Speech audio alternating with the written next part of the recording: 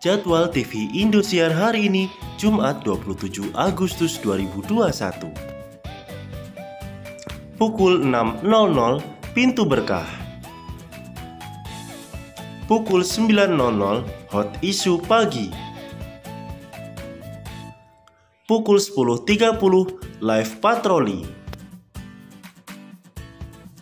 Pukul 11.00 Live Focus